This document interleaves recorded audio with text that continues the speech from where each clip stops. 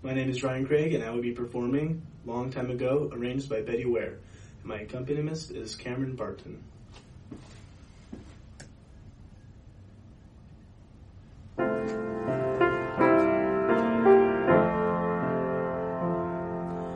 On the lake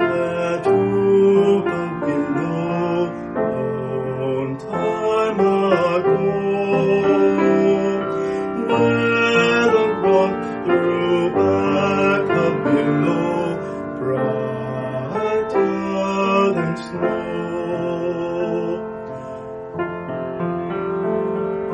dwelt a maid.